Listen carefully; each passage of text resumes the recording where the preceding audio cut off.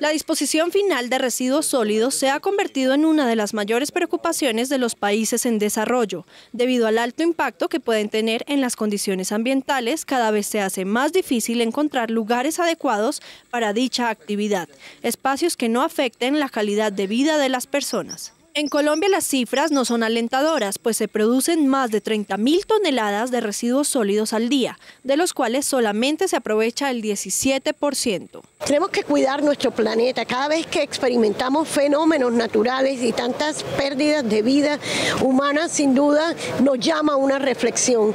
Y por eso la mejor forma de contribuir con el cuidado de nuestro planeta es reciclando. Por eso desde el Ministerio de Vivienda, Ciudad y Territorio hemos venido incentivando hemos venido expidiendo una serie de reglamentación para promover la actividad del aprovechamiento, que todos reciclemos y de esa manera cuidamos nuestro planeta. Desde el Ministerio de Vivienda se han logrado grandes avances en la disposición adecuada de los residuos sólidos con ejecución de obras y acompañamiento técnico para la operación de rellenos sanitarios. Pero usted desde su casa también puede contribuir. ¿Cómo?